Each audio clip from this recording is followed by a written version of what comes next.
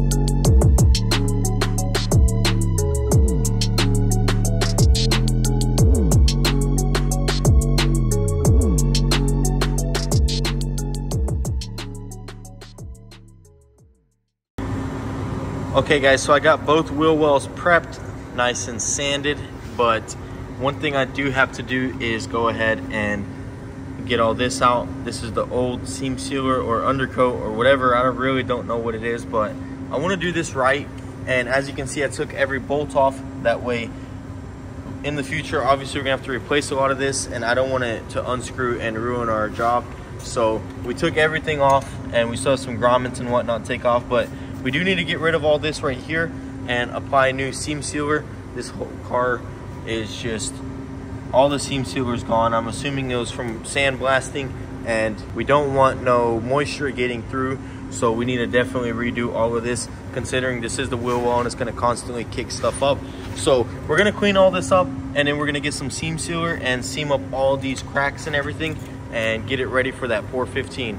So I got it all cleaned out. I did wire wheel it as best as I could and it's honestly still a little rusty. So I think I'm gonna POR-15 everything first and then tomorrow when everything dries, we'll go ahead and put the seam sealer on and then we'll undercoat everything and it'll look super nice. So I'm done with this side. I'm gonna go clean out the other side over there and we're gonna get this all taped off.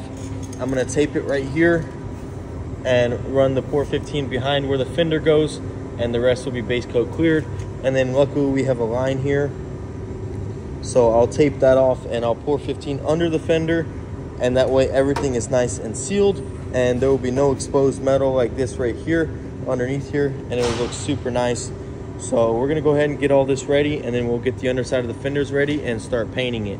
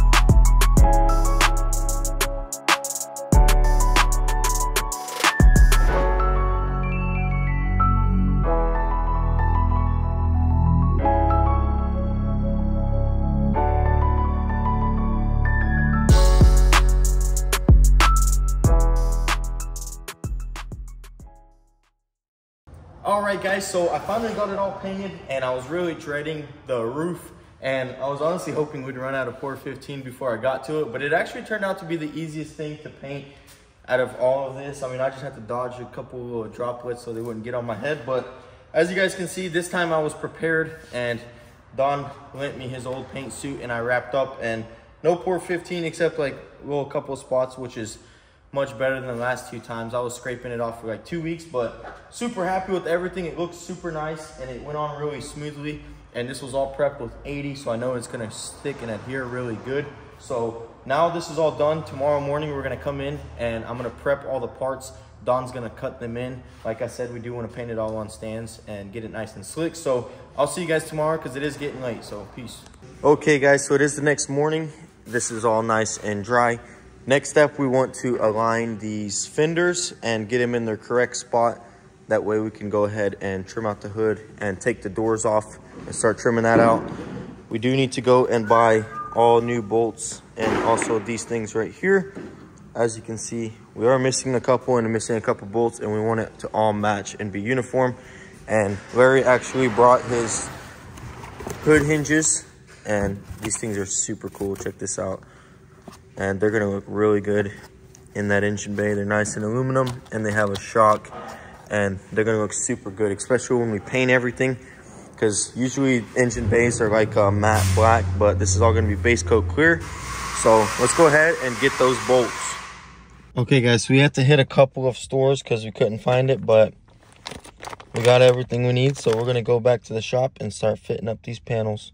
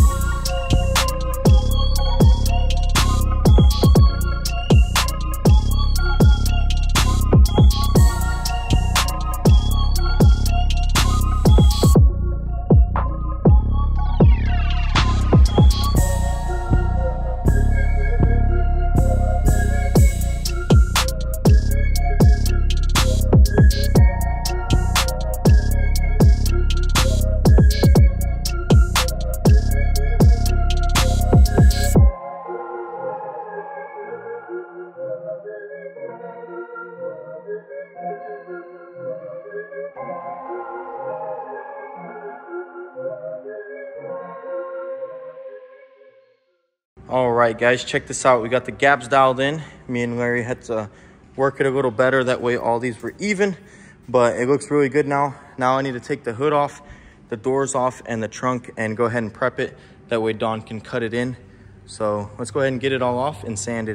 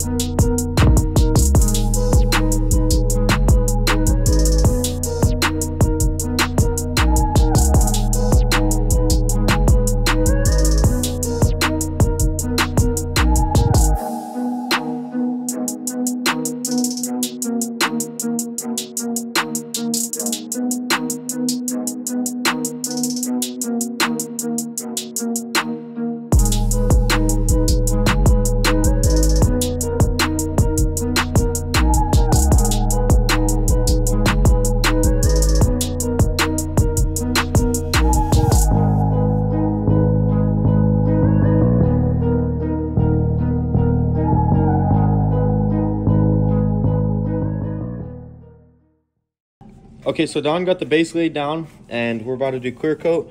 But guys, I just wanted to show you my new gun. This is the SATA Jet X 5500 RP.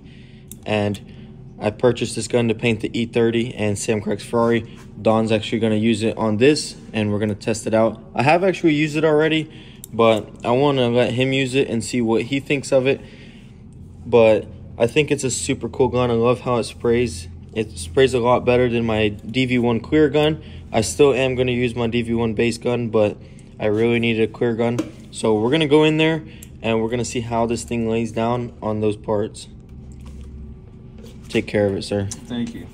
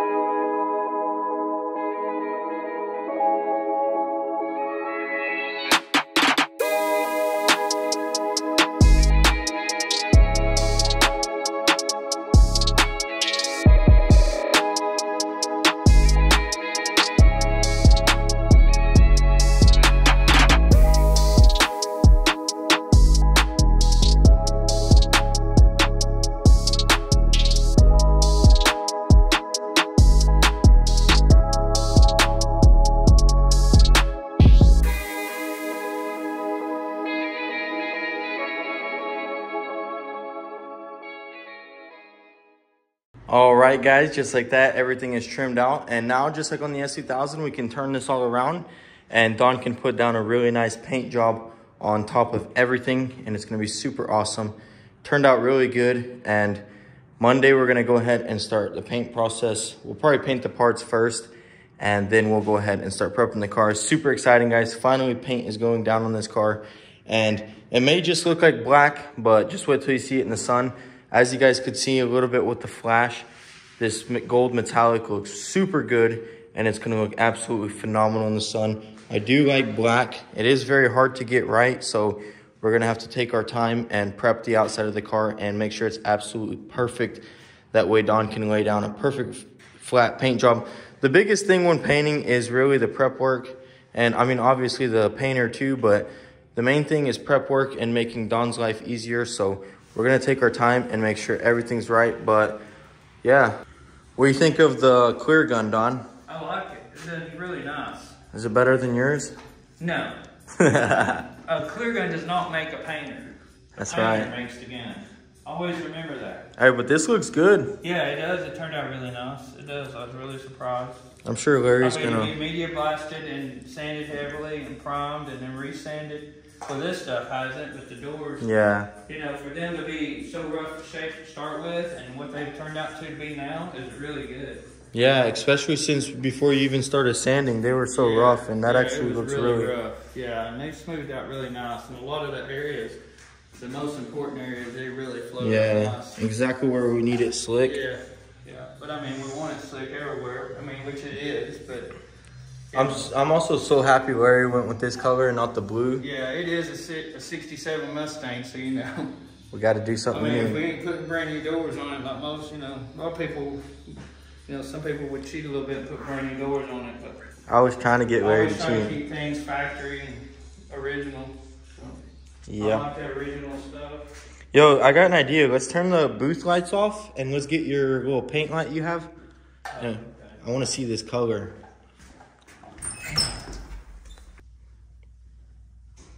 Uh. Mm, Oh yeah, dude. look at that.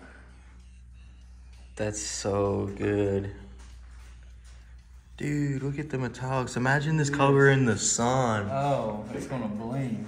It's gonna look black from minus far. Our, minus our bug, our visitor that come to visit. He's stuck on Chuck. We're gonna let him sleep there overnight. yeah, we are. Think about his actions.